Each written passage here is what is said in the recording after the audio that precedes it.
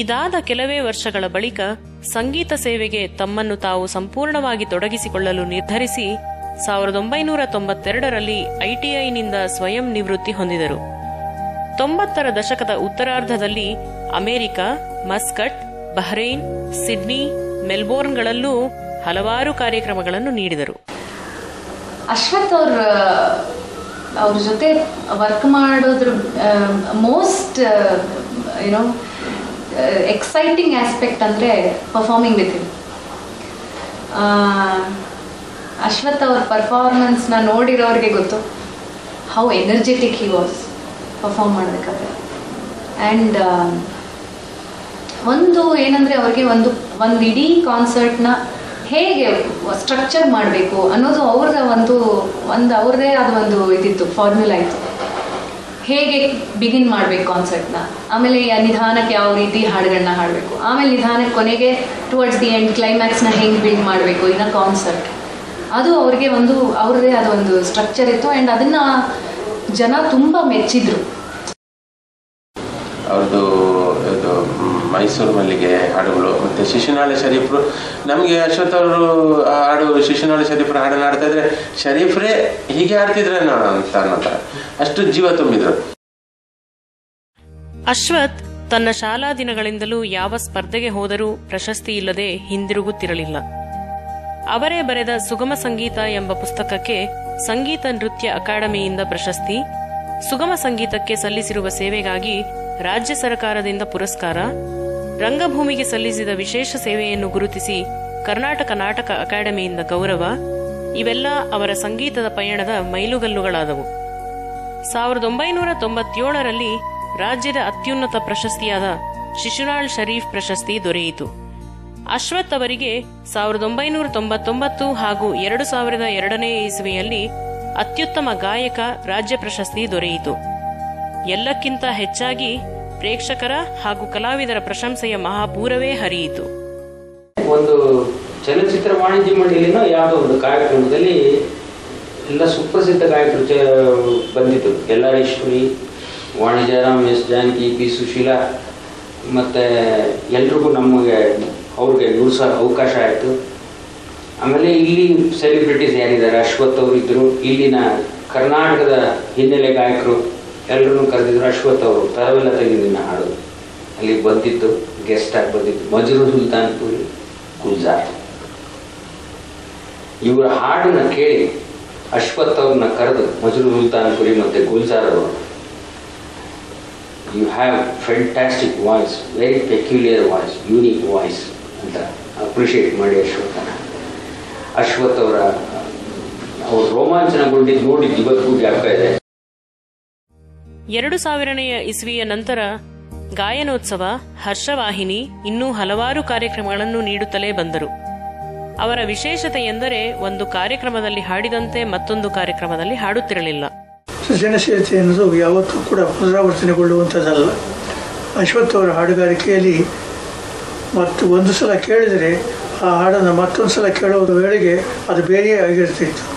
ಹೀಗಾಗಿ ಯಾವತ್ತೂ ಕೂಡ ನಿಸರ್ಗದಲ್ಲಿ ಹೇಗೆ ಪುನರಾವರ್ತನೆ ಅನ್ನೋದಿಲ್ವೋ ಹಾಗೆ ಅಶ್ವಥ್ ಅವರ ಹಾಡುಗಾರಿಕೆಯಲ್ಲಿ ಪುನರಾವರ್ತನೆ ಎನ್ನುವುದಿಲ್ಲ ಇಲ್ಲದೆ ಇರೋದೇ ಒಂದು ಅವರ ಹಾಡುಗಾರಿಕೆಯ ವೈಶಿಷ್ಟ್ಯ ಅಂತ ನಾನು ತಿಳ್ಕೊಂಡಿದ್ದೇನೆ.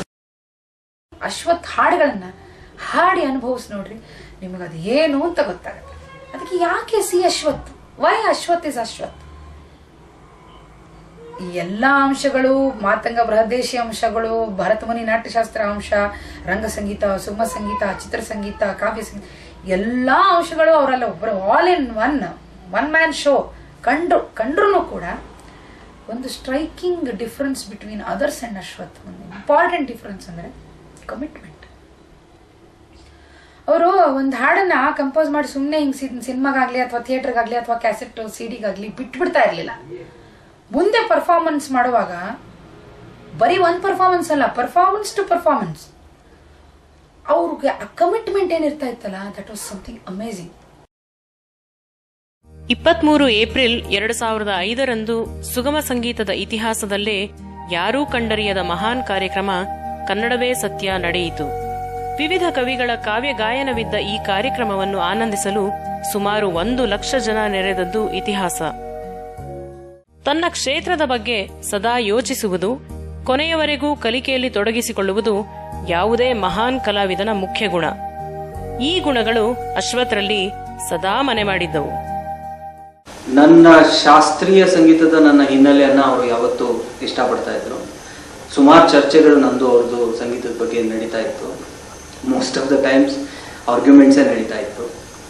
ಆಮೇಲೆ ನನ್ನ ಪಾಯಿಂಟ್ ಆಫ್ ವ್ಯೂ ಶಾಸ್ತ್ರೀಯ ಸಂಗೀತಕ್ಕೆ ಅದಕ್ಕೆ ಬದ್ಧವಾಗಿ ನಾನು ಮಾತಾಡಿದರೆ ಅವರು ಅದಕ್ಕೆ ವ್ಯತಿರಿಕ್ತವಾಗಿ ಅಂದರೆ trying to present some interesting facts which were which are considered alien in classical music so ಆ ಥರದ ಒಂದು ದೃಷ್ಟಿಕೋನ ಆಗಿತ್ತು ಅಂದರೆ ಶಾಸ್ತ್ರೋಕ್ತವಾಗಿ ಅಲ್ದಿರೋದನ್ನು ಕೂಡ ಅದು ನಮಗೆ ಎಷ್ಟು ಕಿವಿಗೆ ಹಿತ ಅನ್ಸುತ್ತೆ ಅನ್ನೋ ಥರ ಅವರು ಮಾತಾಡ್ತಾ ಇದ್ರು.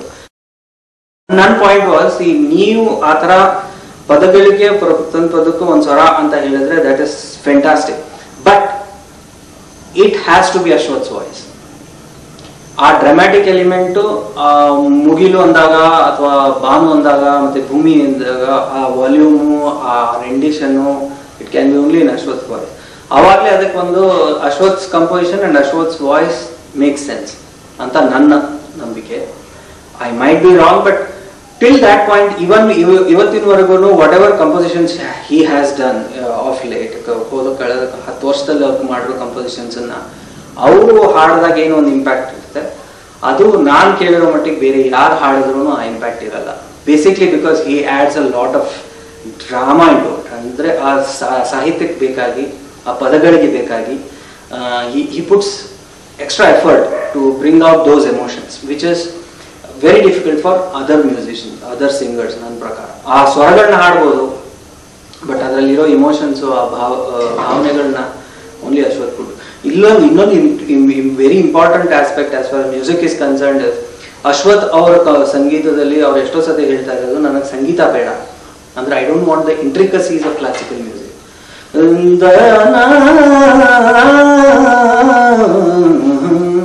ಹಿಂಗ್ ಈ ತರದ್ದು ಕೆಲಸಗಳು ಈ ತರ ಕೆಲಸಗಳು ನೀವು ಅಶ್ವಥ್ ಅವರು ಸಾಮಾನ್ಯವಾಗಿ ನೀವು ಕಂಪೋಸಿಷನ್ ಅಲ್ಲಿ ಕೇಳದೇ ಇಲ್ಲ ಅವರು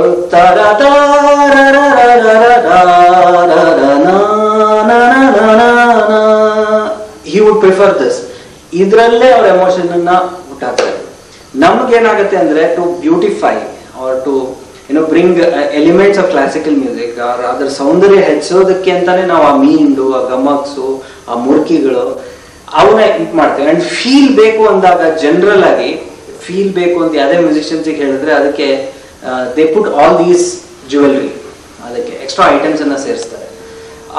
But Ashwath was probably the only singer that have come across who didn't need this ಇವೆಲ್ಲ ಜ್ಯುವೆಲ್ರೀಸ್ ಬೇಕಾಗಿರಲಿಲ್ಲ ಅವ್ರಿಗೆ. ಈ ಎಲ್ಲ ಹರಕತ್ತು ಏನೋ ಚಪಲತೆ ಧ್ವನಿಯಲ್ಲಿ ಅದು ಬೇಕಾಗಿರಲಿಲ್ಲ. That straight note itself was so powerful and so meaningful ಹಾಗಾಗಿ ಆಲ್ ದೀಸ್ ಆರ್ಗ್ಯುಮೆಂಟ್ಸ್ ಅಬೌಟ್ ಏನೋ ಸ್ವರ ಸಂಯೋಜನೆ ರಾಗಕ್ಕೆ ಹತ್ತಿರವಾಗಿದೆಯೋ ಇಲ್ವೋ ಅಥವಾ is it right to compose that way and Yaman supposing ಯಾವುದೋ ಒಂದು ರಾಗಕ್ಕೆ ಸಂಬಂಧ ಹತ್ತಿರವಾಗಿರುವಂಗೆ ಕಮ್ ಸ್ಟಾರ್ಟ್ ಮಾಡಿ ಅದ್ರಲ್ಲಿ ಅಬ್ಸಲ್ಯೂಟ್ ಸಂಬಂಧ ಇಲ್ದಿರೋ ಒಂದು ಸ್ವರವನ್ನು ಅದರಲ್ಲಿ ತಂದು ತರೋದು. ಇದು these were all revolutionary aspects that Ashwath brought in to Sugam Sangeet ಅದು I think it's it's a great contribution